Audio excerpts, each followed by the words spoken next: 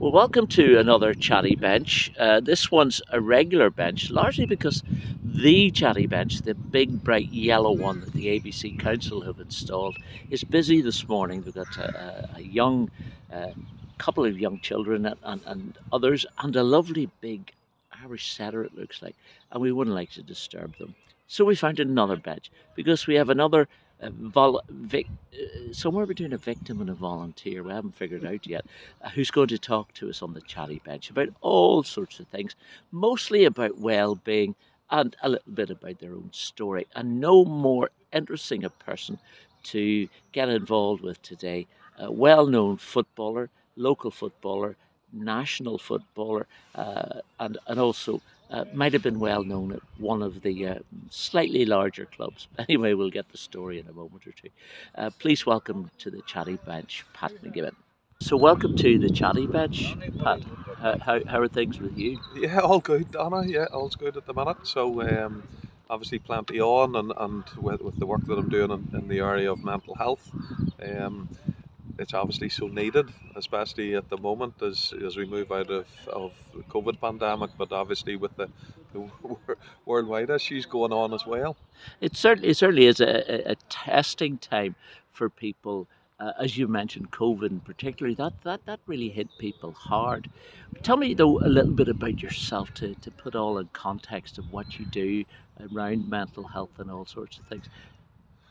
Okay, so like I mean, my, my background is, is is very varied. Um, you know, I, I started out uh, obviously a Lurgan lad. Um, played football from a very young age, played sports, whether it was cross country running, whether it was Gaelic football, whether it was soccer, played played loads of sports and, and eventually went over and was was very fortunate and privileged to, to play for Manchester United from 1992 to 97. And, and that was straight from here basically, from, from playing for local clubs? Yeah, I was I was a player at Lurgan United, so I went went through the, the teams from under eleven right through to under sixteen, and then from under sixteen through to under eighteen. Then I was over at Portadown where I played within the youth team, the reserve team, and was on the fringes of the first team.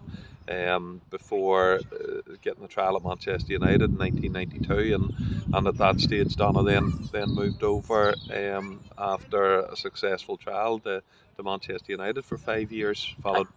I, I made the mistake of saying last week that actually you'd played for Glenavon, and, and oh my, the heckles went up because of that. Uh, but you, you played for for the rivals. Did you ever play against Glenavon per se? Yeah, look, I mean, it, it, actually in the the youth uh, in the Harry Cavan Youth Cup final, which we got to the final of, we played Glenavon and, and a very good mate of mine, Gerard McMahon, and Gerard uh, played in the Lurgan United teams going through at, at that age group. or Gerard was playing for Glenavon on that particular evening, but um, we ended up we beat them two 0 Portadown beat the, Glenavon 2 0 on that occasion. Um, and obviously, when I moved back to uh, Northern Ireland in 2002, then uh, for, for a couple of years I, I played both played for Portadown but also captain Portadown and uh, we played Glenavon on a, on a fair few occasions.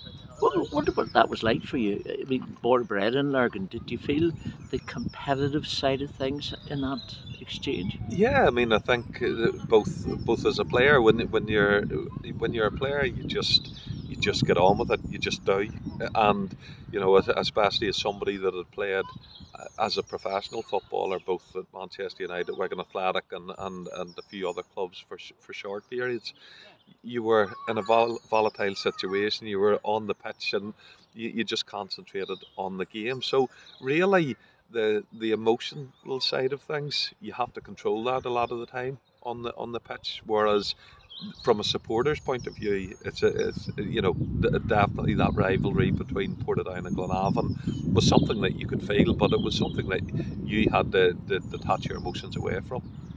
Let me take you back a little bit to those schooling days and growing up in Lurgan. What was Lurgan like as far as you were concerned? Yeah, look, I had a, had a great, uh, you know, childhood. Um, going through obviously at Tannaghmore School where I started. Um, during that period is where I was introduced to sport. So they mainly played Gaelic football. So from from primary five, I was playing within the school team, and then right through to primary seven, moved on to, to St Paul's, and again, the loads of sport. I actually remember in this particular park, I I won the Armagh Districts cross country um, run in in first year, and you know under uh, Paddy McAnallen, Mr McAnallen was the the uh, teacher who took the cross country running there. So the very formative years uh, I really really enjoyed um, my time and especially growing up within sport. All my mates you know, Lawrence Stone, Connor Lavery, I could go through so many. Um, Kevin O'Hagan, Liam Smith, Steve McGee, David McVeigh, uh, so many. We, we, we grew up together and played, whether it was in Allen Hill Park or down at Casters Bay. We just had a, had a really good formative, you know, childhood and going into the teenage years. And I suppose that helped me because we were all you know we were all interested in, in football and interested in sport generally. At the same time though there was division uh, in, in the town. You, you I mean it'd be dishonest to say there wasn't.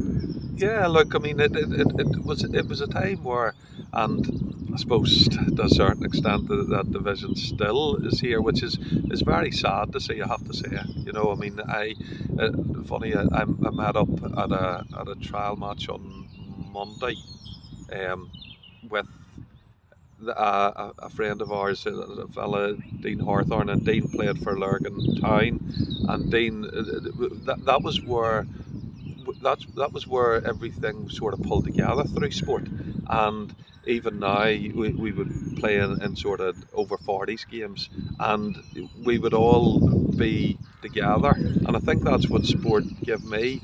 It, was it was very difficult we're sitting here now. You know you'd you'd went up to Lurgan Pool within your teenage years and um, at times you'd have came through Lurgan Park and you'd have been worried about coming through Lurgan Park because of that division. And it was perceived at times but there, there was always it was always very real as well.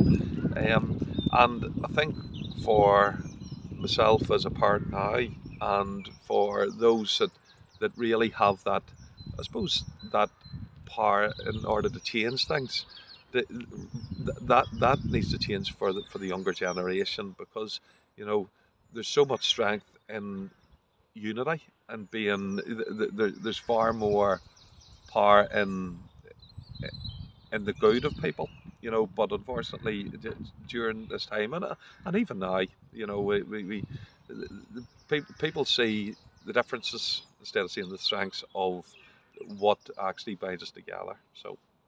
Well, let, us take you to the Manchester United days. Uh, uh such uh, an honour to be to be chosen to be in what effectively was the biggest club, or almost the biggest club in the world at that time, just on the cusp of, of getting to their first championship in so many years. So, how did that feel from your point? Yeah, look, I mean, I, I always say this. I went over as as a fresh faced eighteen year old who from from 17 through 18 and, and I took a, a growth spurt between 17 and 18 which made me I suppose grow in confidence and obviously then by the, the end of, of 91 92 I was captain in Portadown's youth team was captain the, the Northern Ireland schools uh, you know things had really taken off. And within that then you know I was going over to Manchester United initially on trial for a week and then I went over for a further three weeks. After that three week period, then I signed for them in 1992. But from then, you know, I always say from 92 to 97, I, I, you know, I was on the fringes of the first team. I'd played uh, a few times. I, I, managed to get sent off and give away a penalty on my debut, which wasn't ideal. But I always said during that time, even 92, 93, United uh, won the league for the first time in 25 years, and I always said there was a, an absolutely terrific fabric with the club. You know, as well as the first team winning the league, the, the reserve team won the league. I think three times in the five years that I was there, and they hadn't won the league for about 25 years. The A team with with obviously your, your Gary Neville's, Phil Neville's, David Beckham's. Uh, you go through, you go through Nicky Butt, Paul Scholes. That A team obviously were very, very successful and then ended up coming into the first team and being, you know, terrifically successful. So it was just a, a really brilliant time for the club and, and a really successful time as well. What about things going on with yourself outside the club? What, what was emerging in your life at that time? Yeah, I mean, look, the, the, the first year that I went over to, to Manchester United, obviously you're you're trying to settle in. Even though I was, I suppose, a little bit more mature than, than lads who went over uh, as an apprentice at, at 16, I went over as a first year pro at finished BA level, so I was, a, I suppose, a little bit more mature, but I was still trying to, to settle in to the club. I was in digs at that stage, and then obviously eight months through, then uh, my brother tragically took his own life, so that was a very difficult period, and, move and moving, obviously coming back Lurgan and dealing with with that, and um, but football was always, you know, is my passion. It was what I wanted to do. So th- that stability that Manchester United for those five years, but also even at Wigan Athletic, where there was a great fabric. Both of those clubs gave me stability within my life, and, and at a, at a really crucial time because you know obviously you know the, the, the death of your, your brother through suicide is a very challenging time. So to, to then you know have to deal with that, you need that support network around you, and that's what Manchester United give me. Can I tease a little bit more about, about your thoughts around that, and, and not for one second to invade the privacy of that situation, but how you, if you dealt with it yourself, or, or, or what it taught you and what it brought to your life in, in later stages. Uh, for example, your your your your uh, engagement very much with mental health and well-being. Yeah, I mean the, the, the thing about it is, and, and my, my, parents were always great in terms of you know saying about education was very important, and the footballing side of things I loved, but um, within education as well, uh, uh it was I always knew the importance of you know uh, education. So even at Manchester United, I, I, I initially went over in the first year and, and, and did um, some work with a levels in, in maths, but it sort of fell away towards me my, my formative years then, or, or sorry, the, my, my latter years at, at Wigan Athletic. I did a physio degree, and so I always had that idea of being proactive in terms of once my you know my, my footballing career was finishing. My issue was when I moved back home, um, was my passion for football. It wasn't uh, physically, you know, you were coming to the end of your career and you were then going into part time football and you had to decide what you, you wanted to do as a real job. And that that was difficult because at Manchester United it's stability, at Wigan Athletic it's stability. All of a sudden, when I moved back home with Bernadette and uh, the, the, the children, then there was quite a bit of instability. You know, at six house moves, uh, I didn't know what I wanted to do in terms of a career, even though I had a, a ready-made job as such with physiotherapy. But it just was, I wasn't passionate enough about it. And it took an awful lot of soul searching and, and instability to then go into the mental health sphere, which uh, you know, quite recently I did a mental health and wellbeing diploma, but I'm now able to link the, the physical to the mental and emotional well-being. So in a roundabout way, as much as it's been a really tough journey since I moved back home in 2002, it's also been a, a, a great learning experience and it has been experience that is that has taught me I suppose, the value of, of mental health and well-being. And there is a lot out there that is based on, on, on scholarly work, but if you have that experiential, uh, well, the experience itself behind you, that gives you a, a deeper depth of understanding, would you say? Not necessary yeah. to be able to teach it, but but it is a benefit, perhaps. Yeah, I think I think the the most important thing is that that one of authenticity, because really, I, I, I watch people and, and obviously I do mental health related talks whether it's in, in, in the public domain or whether it's privately.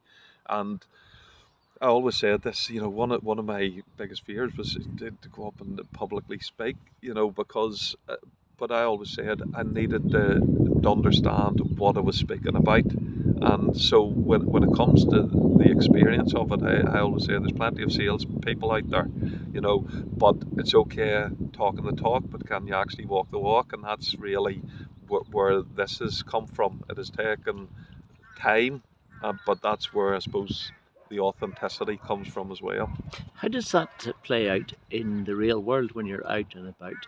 That authenticity is it something you have to wear like a badge, or is it something that people recognise, or, or how does it play? I, I, I'm not sure. You know, I mean, uh, people talk about charisma, people talk about authenticity, people talk about different things.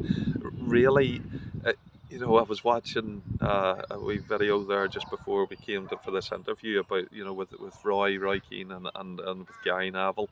And I thought it was brilliant because they were just having a chat. And with that whole thing surrounding authenticity and, and, and how do you know, I think that uh, certainly from my point of view, eventually you just know. um, but uh, you know, and, and I see plenty of people out there that that will are trying almost too hard. I'm at a stage now where I don't need to try too hard. If if people like what I do, if people you know appreciate it uh, when it comes to the mental health sphere, if people if it makes somebody get a wee spark or you know moment in which they they reevaluate then whether I know about it or not is is unimportant. But if they get that, then I will have done some some good and in that sphere. Like so, I, I recognise that from, from my own point of view, the authenticity of, of having gone through a break through, for example, where I, I'm not fearful about talking about. In fact, it's it's the easiest thing to do, and that in my experience, liberates others to talk about it and liberates the idea, oh, somebody's talking about something we shouldn't be talking about. Uh, the fact that you're out there promoting in itself gives that authenticity, sure. Yeah, very, very much so. And, and uh, I was up quite recently doing a talk, and, and the charity I found it Train to Be Smart has, has a um, logo, it's smart to talk, and the smart stands for sharing my anxieties, relieves tension. So I think it's a really, really strong, powerful message. And I was up quite recently speaking with committee members and, and adults in, in regard to mental health, and there was only a very small group. And as I said, you know, whether there's one person there or whether there's you know 600, which there was at the the, the Roy Keane fundraiser in 2016. If one person gets it, then we are doing some good within the area of mental health, and, and that's I suppose that that's the most important thing to, to take from it, because sometimes we will know that we have you know, we, we have did good, whether that's, you know, with somebody else talking about it to us, or, but sometimes we, we won't necessarily know that, that we have unstuck the stock with people. But, you know, every time you go out, if there's one person there that gets it, then we have done some good. You're working mostly in the, in the, in the uh, area of, of young people uh, in sport. The whole idea of depression, of anxiety, and whatever exists all through society, all ages, all shapes, and sometimes undefinable places. Is that your experience too?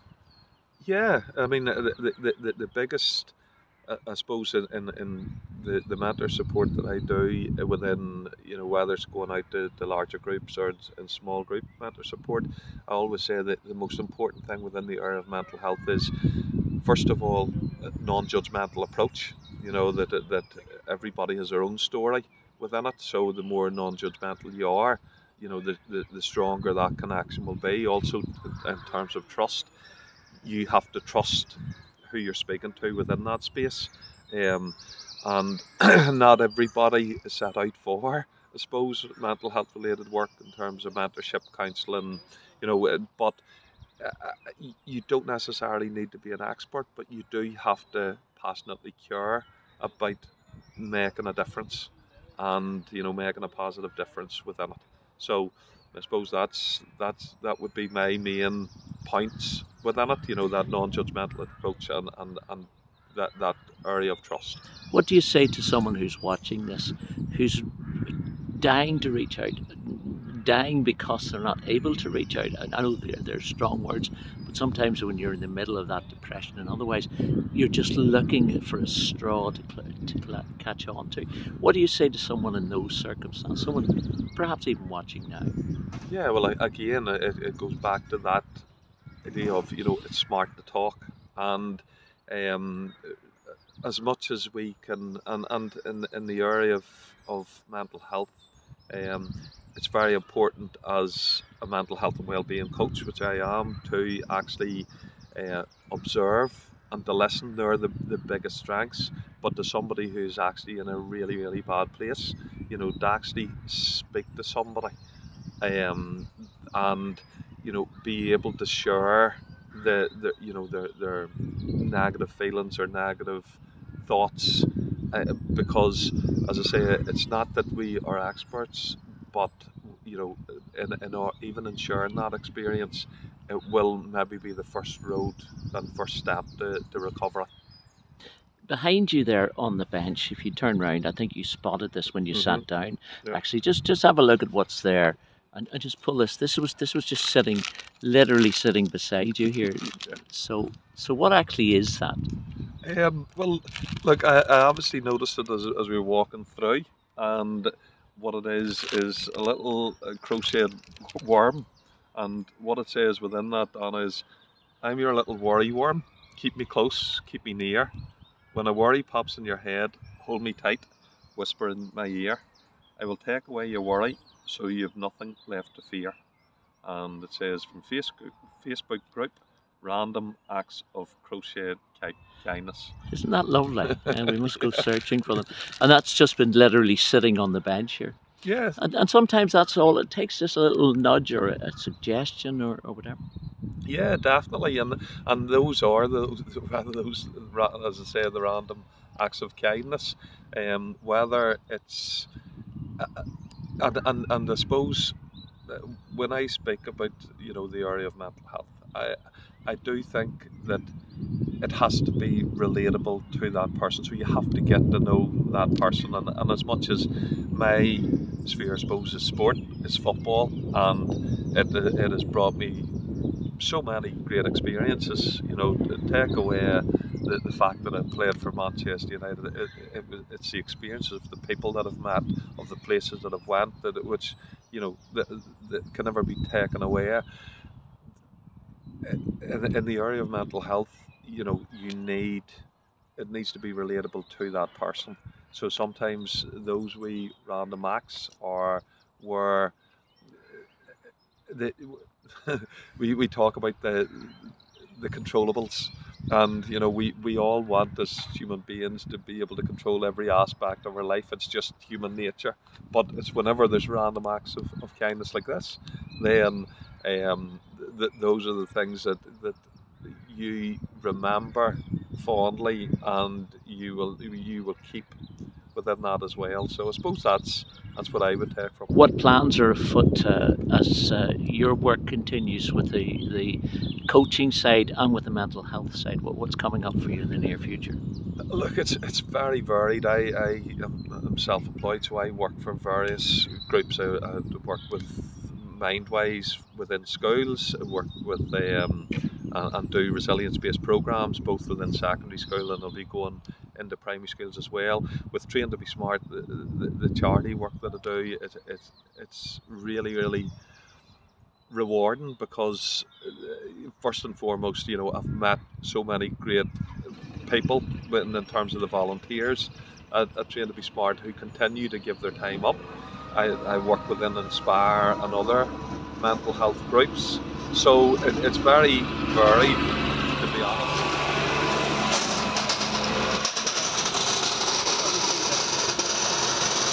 The noisy good work that has to take part in, in, uh, in the park is about to take part, so it's maybe a good time for us to, to bring this to a conclusion. Thank you so much for being with us, Pat, and we look forward to hearing more of your projects and, and meeting up again. Okay, thank, thanks for the interview, Donagh.